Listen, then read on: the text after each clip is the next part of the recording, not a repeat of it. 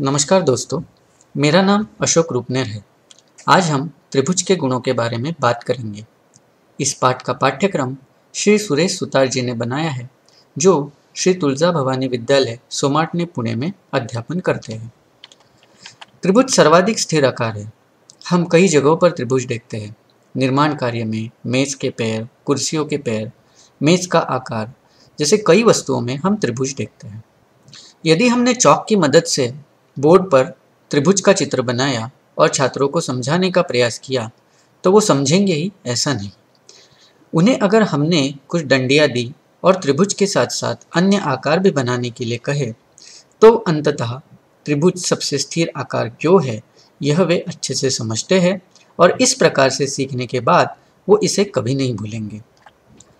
आठवीं कक्षा के छात्रों को कुछ सरल क्रियाओं के माध्यम से त्रिभुज के गुण भी सिखाए गए।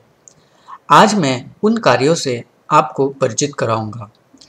मुख्य बिंदु शुरू करने से पहले मैंने विद्यार्थियों को त्रिभुज की भुजाएँ, त्रिभुज के शीर्ष बिंदु, संगमन रेखा, संगमन बिंदुओं की संकल्पनाओं को दोहराया, ताकि उन्हें इस बात की बेहतर समझ हो कि मैं उन्हें आगे क्या सिखाने जा रहा हूँ। प्रथम था शीर्षलंब पढ़ाया। इसके लिए छात्रों को पाँच से छः के समूहों में वर्गीकृत किया। इस गतिविधि के लिए ऊन पेपर पिन फोम का न्यूनकोण त्रिभुज, सुई और कैची का इस्तेमाल करने वाले हैं। अब त्रिभुज के शीर्ष पर एक छेद करें और इसके माध्यम से ऊन को रोल करें। वहाँ एक पेपर पिन लगाएँ ताकि ऊन बाहर ना निकले। हमें शीर्षलम मिलेगा। इस क्रिया ने विद्यार्थियों के लिए यह समझना आसान बना दिया कि एक शीर्षलम क्या होता है। फिर उन्होंने समकोण अधिक कोण त्रिभुज के शीर्ष लंबी ढूंढ निकाले। विद्यार्थियों से मैंने कुछ प्रश्न पूछे ताकि यह देखा जा सके कि इस क्रिया के बाद वे कितना समझते हैं। शीर्षलम की परिभाषा से शीर्षलम कैसे खोजते हैं? अधिक कोण त्रिभुज, समकोण त्रिभुज के शीर्षलम कहाँ होते हैं? इस क्रिया के बाद विद्यार्थियों से पूछा गया कि क्या एक त्रिभुज के तीनों शीर्षलम क्या हम एक ही समय निकाल सकते हैं? तीनों प्रकार के त्रिभुजों में शीर्षलम कैसे प्रतिच्छेद करते हैं? इसका उत्तर खोजने के लिए क्रिया की सहायता से उन्हें लंब केंद्र का परिचय दिया गया। विद्यार्थियों ने तीनों प्रकार के त्रिभुज के लंब केंद्र ढूंढ लिए। इसके बाद मैंने उनसे कुछ सवाल पूछे, तीनों त्रिभुज में लंब केंद्र कहाँ है? लंब केंद्र की परिभाषा कैसे बनाएँ?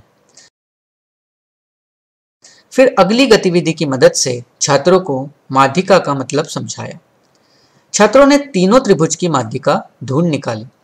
फिर छात्रों से माध्यिका और शीर्षलंब में क्या फ़र्क है, यह पूछा गया। शीर्षलंब की तरह माध्यिका किसी एक बिंदु पर प्रतिच्छेद करती है क्या? दूसरे प्रश्न का उत्तर जानने के लिए हमने अगली गतिविधि की और यहाँ गुरुत्व मध्य केंद्र की परिभाषा बताई। फिर छात्रों से पूछा गया कि क्या तीनों त्रिभुज में लंब केंद्र, बिंदु और गुरुत्व मध्य केंद्र समान है या वे अलग है? फिर अगली गतिविधि की मदद से छात्रों को माध्यिका का मतलब समझाया छात्रों ने तीनों त्रिभुजों की माध्यिका ढूंढ निकाली। फिर छात्रों से माध्यिका और शीर्ष लंब में क्या फ़र्क है, यह पूछा गया। शीर्ष लंब की तरह माध्यिका किसी एक बिंदु पर प्रतिच्छेद करती है क्या? दूसरे प्रश्न का उत्तर जानने के लिए हमने अगली गतिविधि की और यहाँ गुरुत्व मध्य केंद्र की परिभाषा बताई। फिर छात्रों से पूछा गया कि क्या तीनों त्रिभुज में लंब केंद्र बिंदु और गुरुत्व मध्य केंद्र समान है या वे अलग है?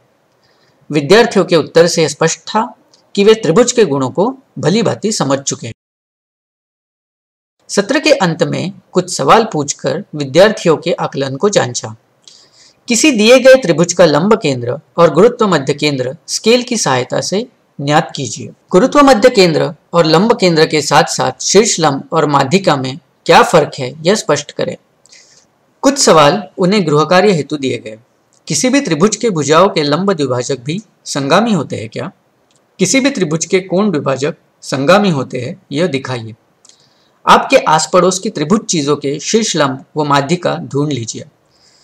गतिविधियों में कक्षा के सभी विद्यार्थियों ने भाग लिया, इसलिए सबका ध्यान अध्ययन पर केंद्रित था। छात्र हमेशा गतिविधियों के माध्यम से सीखने के लिए उत्सुक रहते हैं।